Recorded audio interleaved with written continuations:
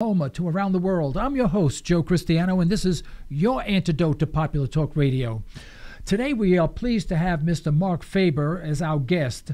Mr. Faber has agreed to be our guest today to discuss the stability. I hopefully, we'll discuss the stability of the world's financial situation. Hopefully, it's a lot more stable than the problems that we've had this morning with our board operation. But Mr. Faber is a Swiss investor based in Thailand and publisher of the Gloom, Boom, and Doom report, and is the director of Marc Faber Limited, which acts as an investment advisor and fund manager.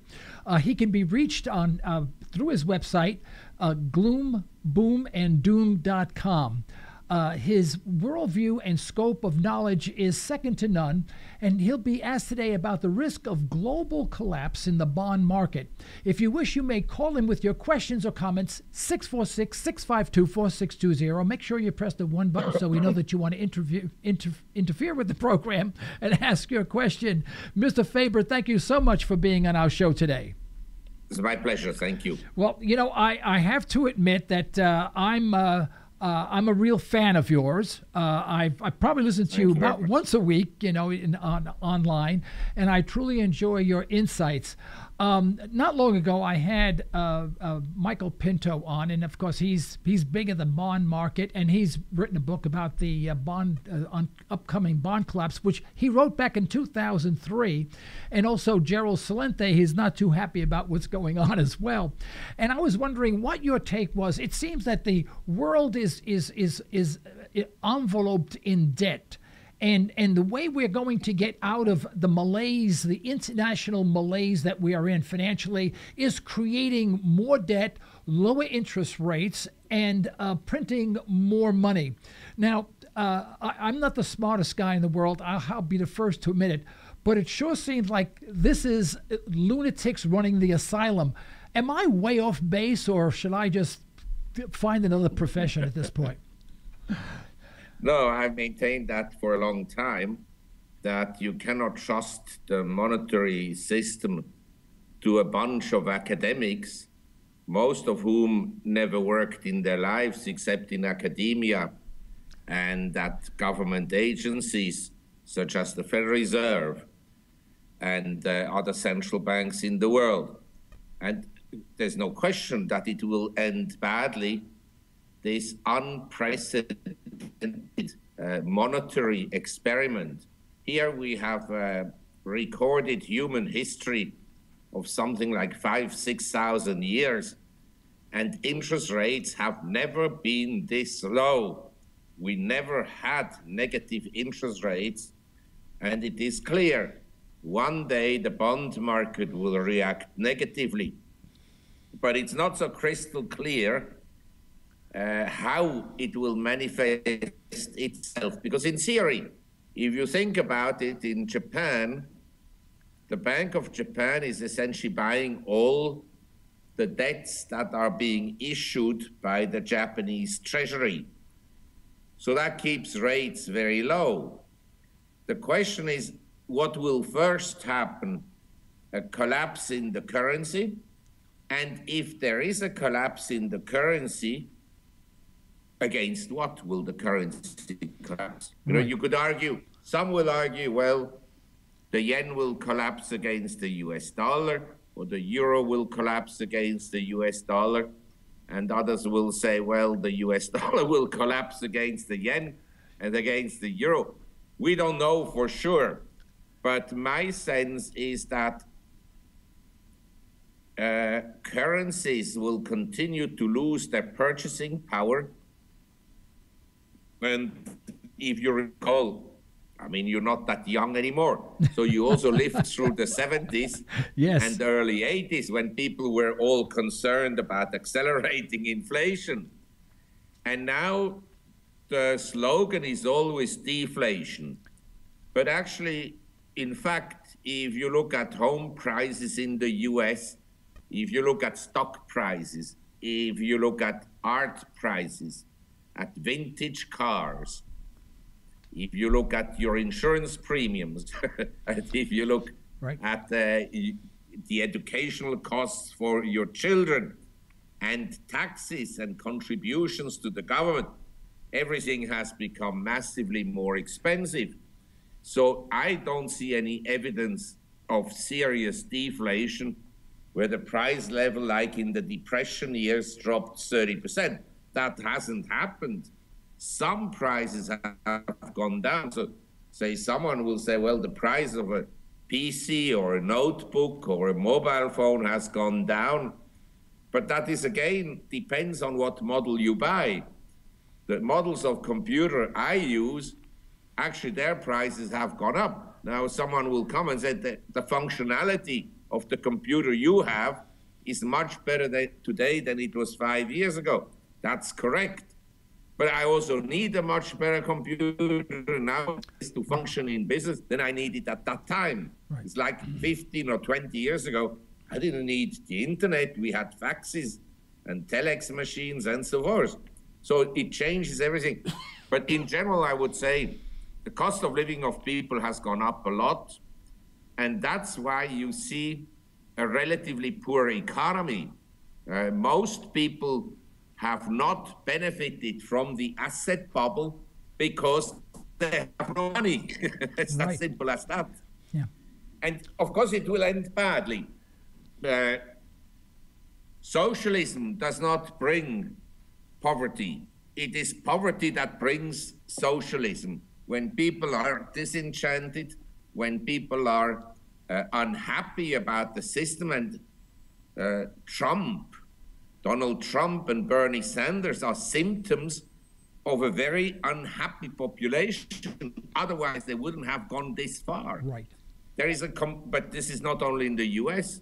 In democracies in general, there is a complete disconnect between the will of the people, between the people and the government officials, and. Uh, I think if most people understood what the Fed is doing, they would be against it. As it happened, as it happens, most people don't understand what the Fed is all about. They're more interested in Facebook pictures that right. only they look at, and nobody else. But basically, uh, it is a transvestite, travesty, the way central bankers are behaving and destroying the value of money. Yeah. And you have to also see there is credit growth that is useful. You talked earlier on about this debt bubble in the world. There is credit that is useful. Say you and I, we build a factory, we borrow money uh, to build the factory, to buy the land, to acquire the machinery, to employ the employees and to acquire inventories and we start producing. Out of the production, we can then cover the interest payments and repay the debt. But our debt growth in the last 20, 30 years in the world has been debts that are unproductive, namely government debt, transfer payments. In other words, you take money out of your pocket and you give it to somebody else's pocket. Has no economic value at all. And so I think you're right, it will end very badly. But if you ask me exactly how badly and when it will end badly, I don't know. My sense is that one way to protect yourself is through diversification. You can't, it's dangerous to have all your money in cash in a bank. That has to be understood in an environment where central banks are destroying the value of money, it's dangerous to have only cash. So I would have some real estate with low leverage, and I would uh, have uh, maybe some equities. I have equities, and I would have uh, some precious metals. You know, and I would essentially avoid government bonds that have a negative yield. You understand? Nowadays in the world, you have $8 trillion worth of bonds with a negative yield. Right. In other words, you're guaranteed to lose money. Maybe not that much, but you're guaranteed to lose some money. Right. Well, you, you and know since I... I'm such a great optimist, I think I can make some money. well, I, I guess you know I, I I just keep on going back to, you know, my earlier years, and uh, I'm I'm I'm still very young. I'm only 73, but I'm I'm gonna I'm gonna make it somehow. Yeah, okay.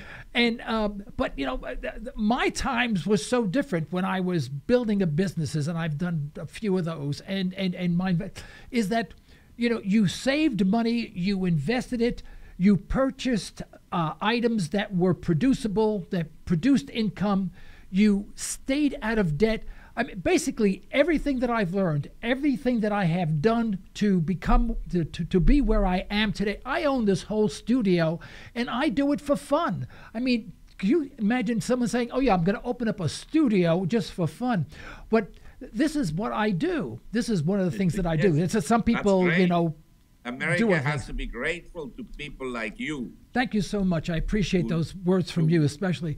But yes. what bothers me is that the whole world seems to be contrary to the way I have built businesses and the way I have grown up. And what really surprises me is that the bastion of, of solid currency, your home homeland of Switzerland, is that not right? You're from uh, you're you're from, yes. Switzerland, yes. has the highest negative interest rates in Europe, I believe. And you would think yes, if there would be one high. country standing up and saying, "No, this is wrong," it's it would be the Swiss, and they didn't do that. Is it is it a worldwide conspiracy? They all can't be on the same page for the same at the same time doing the same idiotic thing. What's your well, take on that? I want to tell you, some people have talked about currency wars. There is no currency war, except uh, there is coordination among central banks. They talk to each other daily, every day the Bank of England, the Federal Reserve, the ECB, the Bank of Japan. Right. They coordinate the monetary policy. So for a while, say the Fed eases QE1, QE2, then uh, Operation Twist, QE3. Then they say to the Japanese, well, you know, you better do something as well because your yen is too strong. So you have to bring the value down of the yen. So then they embark, and then the ECB embarks. And the problem for small countries like Switzerland is then if they don't play the game, their currency appreciates very substantially. Now, don't misunderstand me. I personally, as an economist, I don't think that the strong currency is damaging your industry. Right. That's agree. all BS essentially broadcasted by entrepreneurs and industry. They always say, oh, the, the currency is too strong, we can't compete. Uh, the countries with the strongest currencies over longer periods of time, like Germany, Japan, Switzerland, they are the strongest exporting countries. Right. And countries that have weak currencies over a longer period of time like Latin America, they have very weak industry. They have resources, but their industries are relatively weak. Strong currencies forces the entrepreneurs to become more and more productive. So, but in Switzerland, the view was then among politicians and so forth that they can't compete if the currency is strong. So they have to take measures to lower the value of their currency which to some extent they managed to do. But it has no positive impact on Switzerland. You understand? It's like in Japan, a weak yen hasn't been positive at all for the economy. In fact, it's been negative, say, you're a Japanese, you have your assets in yen. So two years ago, your assets in yen could be exchanged into US dollars at a 30% higher value if you look at Japan, you measure the GDP in yen. In dollar terms, GDP is down 30% now, in dollar terms. Right. So you understand, these devaluations uh, are, is, are far from certain to be beneficial at all. But my sense is that all currencies will eventually continue to weaken and they'll probably weaken against uh, monetary assets like gold, silver, and uh, platinum. Well, you know, I, I I took some basic economic courses when I went to college, and I I went to a very good college. It was Pace College at the time in downtown New York, is in Wall Street area, and it was a, a, a very popular college for people who wanted to go into marketing or finance. And uh, I don't recall one page of economics history, economic theory that talked about the benefits of negative interest rates. Where did these clowns get this idea from?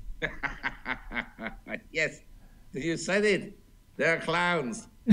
Thank you. well, well, I, I want to tell you, the idea is basically that if you have excessive debts, you want to reduce the burden on the people that have the debts. But there are many unintended consequences for the system. Say, let's say in America or throughout the world, a lot of people have savings. Say, you could be in retirement, so you would have savings, you would have some income from the interest on your savings, and you would have your pension and you would have social security or whatnot. Now, the people that have savings, they don't get anything. Right. In some countries, they're penalized. And number two, you see, the Fed and other central banks, they uh, brainwashed the world in kind of telling them deflation is bad and inflation is good. Right. This is utter economic nonsense because, say, in the 19th century in the US, we had 100 years basically of price stability with intermediate periods of deflation. Right. But what happened is that real wages went up. In other words, wages were stable or rising, and the cost of transportation, the cost of living went down. And so people became richer. In other words, GDP per capita in real terms in the 19th century increased at a faster pace than after the Federal Reserve was formed. So it was not uh, a system where deflation was negative.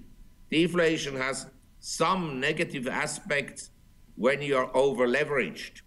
But this is not the problem of deflation. It's the problem that the central bankers, the clowns, you call them so appropriately, they were sleeping on the wheel during the huge debt bubble they created at the end of the 1990s and then until 2007.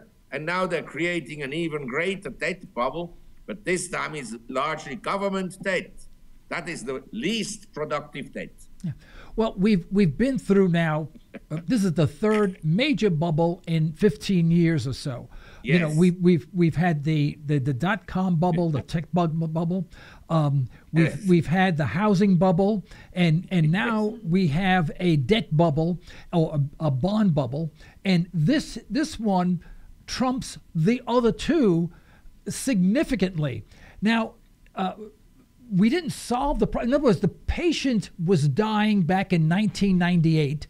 Um, remember, long term capital management, that blew up. Jim Rickards, who was the uh, uh, lead counsel at the time, um, you know, had to negotiate with Greenspan et al. in order to save the entire world from collapsing.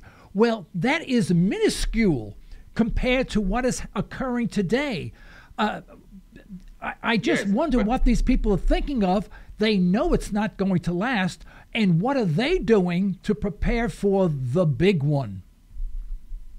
Yes, they don't do anything. They, they just think. Uh, one of the central bankers said the other day, we are magic people. you understand? Yeah. It's not only that they're incompetent, but they're also arrogant. That is the problem. Number two, I mean, you raised the issue of LTCM, long term capital. For the system, it would have been best if they had failed. Right.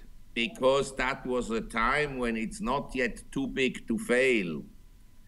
And then again, the NASDAQ bubble. It would have been better to let it deflate further and let the system be cleaned out instead of, as the neo Keynesian all wanted, to create another bubble. But you understand, you're dealing with the fund management industry and Wall Street. They love bubbles. Right. Because their fees are paid on net asset value. The worst for them is that actually asset prices decline, then they get less fees. So they encourage, actually, it's kind of a symbiotic relationship between the Goldman Sachses of this world. I'm not singling out Goldman Sachs, although maybe one should, and the central banks. The central banks, they will coordinate with the Wall Street people and so forth what to do. And when a central banker retires, he gets an advisory job with one of the Wall Street firms that pays a few million dollars a year. Not my problem. I'm happy for them. I'm just saying it's basically a mafia that is not run by professional gangsters, but by clowns. But, you okay. Thank you. Yes. well, you know, I, I, I, usually give people the, you know, who are, are not in tune with the economics or the financial condition, you know, the average Joe Blow who needs things simplified. I say, well, just consider 1998, the patient got very sick and the doctors knew what type of medicine would be necessary in order to yes. save the patient, but they decided that would be too much work. They just gave him a lot of morphine and he felt really good. So he popped out of bed and he's running around with all this morphine. and then the morphine wore off. And then he got really very, very sick and hardly walk. But they pumped him up with a whole bunch of morphine again. He got up and he was able to at least walk around with a cane, but he can walk around. And he felt pretty good about it. Well, now the patient is sick again, and the morphine ain't going to work. So how well, do you see it's what do you see is going how it's, this thing is going to unravel I see nothing but, I mean, I hate to be melodramatic, but it seems like almost Armageddon, financial Armageddon is, is, is before us and we're facing it in the. In, yeah, yeah, I basically agree with you, but you understand, if you print money, in theory, you can boost the Dow Jones to 100,000 within two years. Right. You just have to print enough. Right and you can boost the Japanese market. You just print enough. Uh, where I have some hesitation to believe that entirely is I see some signs of inflation uh, rising. You understand? At some point, the money printing may not go into stocks and into bonds and into Uh, art, where it may go into rising consumer prices. And then what happens, and this has, because I studied the process of high inflation countries or inflation in high, in countries with high inflation. What happens is that, and this has happened in the US and in Europe, real wages go down. In other words, right. the cost of living of people is going up more than their wages. So the standards of living is declining. And, but when that happens, what usually then occurs is that the economy worsens significantly. Then the clowns at the central banks will say, well, and they will be supported by the likes of Krugman, well, we need more. We didn't do enough. Right. Then they'll throw again money at the system. QE4, QE5, QE6. And that can go on for quite some time. You understand? The central bank can keep on buying the bonds that the Treasury is issuing. I don't know how it will end. But I suppose that in this situation, people and investors will, will lose confidence in the system and they will want to own precious metals or some properties. Now, some properties are too expensive, but some properties around the world in the countryside are not that expensive. You live in Tulsa, Well, maybe in prime location it's expensive, it's like Phoenix, uh, but in other locations maybe not that expensive. That's correct. That's correct. Well, it, it, it you know people want to blame all of the people who have money, and of course they they they categorize everyone into one one group. Uh, of course, there are those people within the system that are cheating the system, that are uh, connected with government, with industry, that have um, some sort of allegiance to uh, individuals that they support for government, uh, for, for office, and as a result, they get kickbacks and all that funny money and all that dirty stuff that goes on. But for the most part, there are people who adhere to basic uh, valid economic principles.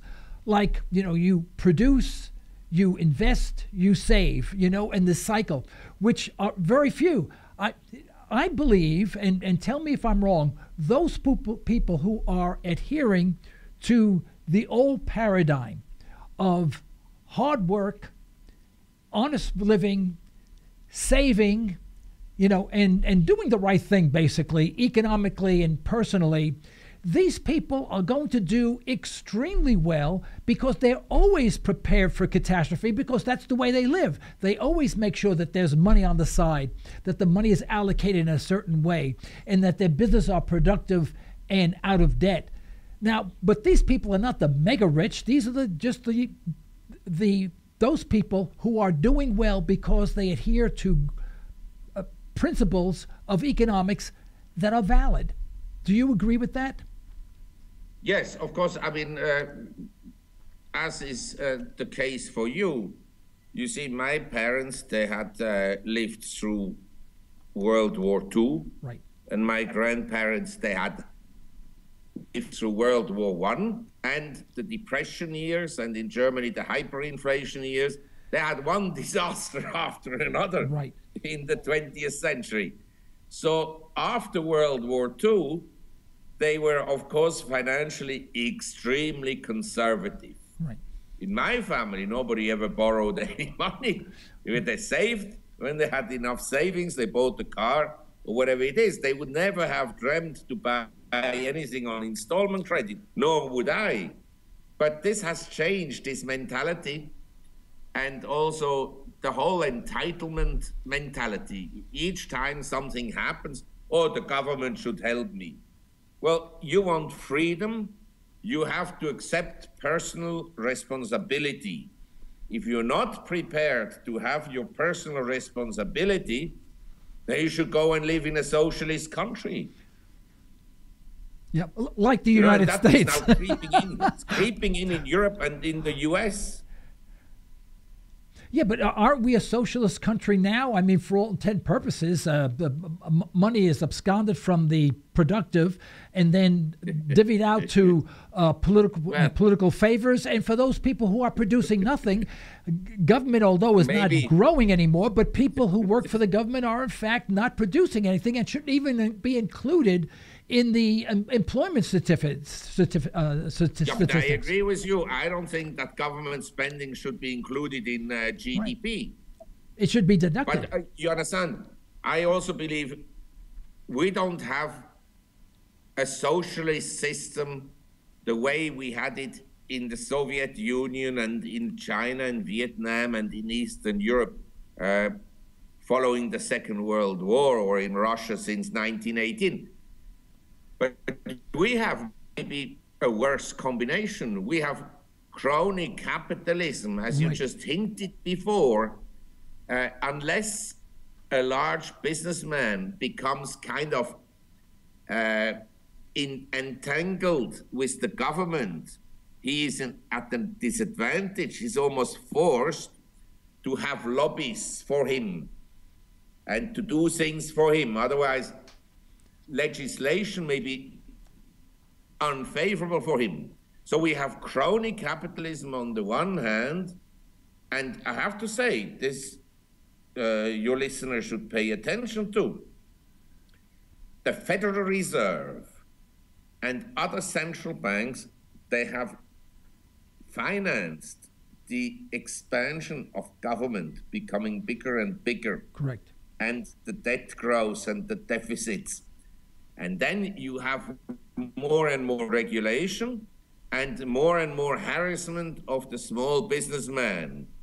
And the larger the government is, you've seen all these studies, productivity is not rising much. Is the productivity improvements are very disappointing. This has to do the bigger the government, the less productivity growth there is. Right. Yeah. You know, it's it's it's I've I I said this, gave the story out, uh, relayed the story on my show so many times. I'm sure uh, if people hear it one more time, they're going to start hanging up. But you know, my my father came here from the old country uh, with not a dime in his pocket, and he complained all of his life that the biggest mistake he ever made was borrowing $14 from his future mother in law. Because she really she Especially never she, she never made him forget it. And do you know that on his deathbed he was still complaining about that? I'm not kidding. He said, the biggest mistake I ever made. I said, Bob, please take care of yourself. Please be relax, you know, for a while. You know, he still complained about that. And I, I'm reminded of that oh, several times daily when I meet people and I see the, when I watch television and I see the way people handle money, handle themselves, their lifestyle. I think either I'm the lunatic or the whole world has gone crazy, but I don't yes, identify with it you, at all. You understand? I will give you uh, an argument that someone raised the other day with me. He said, well, you know, zero and negative interest rates are very good because they stimulate huge innovation. Now, the NASDAQ bubble was a deliberate creation of Mr. Alan Greenspan. I know this from a former Fed voting a member. He, Greenspan thought that by creating a NASDAQ bubble, it would fuel innovation and so forth, which to some extent is true. But you understand when you take economic policy measures, you have to look at all aspects. Right. Uh, each policy measure may have some beneficial impact, some but huge negative impacts. Most American families, the median American wealth in America is lower than it was in the year 2000 because bubbles enrich a few, Wall Street, and impoverishes the majority, already observed by the famous American economist Irving Fisher. Hmm. It impoverishes the majority. Right. How many families I've went to Atlanta after the housing bubble. It's actually tragic to see all these homes where people were evicted. They had children. The children went to local schools. And these families were kicked out of their homes. Do you think it's fun? Do you think it's a nice thing to do? This, I make the Federal Reserve responsible. And by the way, who was responsible for the greatest housing bubbles California, Nevada. That's right. And yeah. Um, and I think also the Florida was big in, in that. Yeah, but Yellen was in charge of the Fed in San Francisco, president. Oh, I see. Yes. And Nevada, the three biggest housing bubbles were, yes, uh, California, Arizona, and Nevada. she was in charge of those districts. Ah. She's the money printer par excellence. Ah, I see. Right. Well, uh, we're we're we're She's running the number one clown. number one clown. Okay. All right, we're we're running close to the end of our show. Yes. But I, before we before we sign off, I'd I'd like for you to look into your crystal ball, just polish it off if you can, yes. and tell us what do you how do you see things unwinding? Obviously, it cannot go on forever. There's there's there's Mother Nature always has a way of coming back and saying, okay, guys, you had your fun. Um, now we're going to correct everything. And uh, those people, you know, who were playing the game are now going to suffer a little bit because you had too much fun. Mother Nature has a way of always neutralizing everything. Yes. What is what is your take? How do you see this whole thing unraveling? Well, I think uh, when things will go bad, they'll print more money. And when that doesn't help, there may be social unrest, or, or what nations frequently have done is uh, they started to take money away from the rich. You know, we talked about these uh, wealthy people before. I would say a lot of wealthy people, they haven't done anything terribly wrong. It's the Federal Reserve that made them rich. You understand? Because right. the Federal Reserve, with their easy monetary policies, boosted asset prices. If you have no assets, you don't benefit. But if you already have money, homes and stocks and bonds, you benefited enormously. And I believe these people, uh, including to some extent you and me, who have assets, you said you have your studio, we will uh, lose money. Some will be taken away from us, wealth taxes, or higher taxes on incomes or on capital gains, or they can introduce a wealth tax and say we take 20% of all the wealth from the rich people away. It's not going to help. But to satisfy the unrest among the people, it will be a measure that populist governments will do. Number three, I think there is the possibility, and uh, it's very clear that we have a rise in international tensions very clearly uh, partly because the US is unreasonable about uh, the rise of China. It's clear that the Chinese want to have some security in the South and East China Sea, which the US has a different view about, and so forth. The US and NATO also harassed Putin. I'm not saying that Putin is a nice guy, but you understand, for Russia, the Crimea is of paramount strategic importance. Right. It has zero value for the US, zero value for NATO. But for Russia, it has value. So they miscalculated there. They miscalculated about the whole eastern Ukraine, which is east of the Dnieper. And so the tensions are actually quite high. In the Middle East, we have essentially a complete mess. Right. Complete mess. and how this all will end, I don't know but I would hold some precious metals phys- in physical form. Okay. Well, you know, when I was uh, when I was growing up in Harlem, New York, you know, you, you, the warlords were always guys you wanted to stay on the right side of. You know, you, you, didn't want to be on the wrong side of somebody who was the head of the gangs in New York and stuff like that. Yeah, yeah sure. And and so to to me, uh, I always think you know if if they, if we should have one friend in the world, it should be Russia we, they shouldn't be our enemy. We should trade the trade with them like yes. crazy.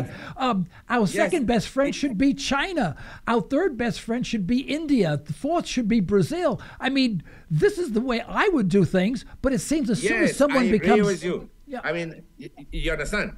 Culturally, Russia was much closer to Europe than to any other region in the world. Right. And we Europeans, you could ask any German 90% of Germans do not understand the policy of Angela Merkel. Most people in Europe, they believe that actually she's being blackmailed by the CIA or somebody yeah, because yeah. of her past. Yeah. But we don't understand because in the 19th century until the beginning of the 20th century, uh, Russia's border was with uh, Germany and with the Austrian uh, Empire, Austrian Hungarian Empire, right. not with Poland, didn't exist at the time. That's Ukraine right. didn't exist. And so culturally, Europe and Russia were always very close. But I tell you, I don't understand. We have these interventionists. You call yourself Liberty Radio. We have the interventionists. These are people who believe that they are kind of superior, that they know better than ordinary people. They may have more education, they may have gone to Harvard, but it doesn't make them smarter or more intelligent. It just uh, they just pay the high fee to these universities. Anyway, thank you for your time. Well, uh, let me give you the last, uh, just the last minute of our broadcast to, to uh, alert our listeners how they may reach you if you'd like, or that your uh, something about your website. Yeah. Uh, I'll let you close it out. And but before we do, I want to I want you to know that we're honored to have you on our program, and we do hope that you will accept our invitation to return at a later date.